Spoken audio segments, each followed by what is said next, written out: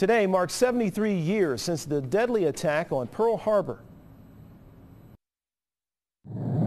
December 7, 1941, a date which will live in infamy.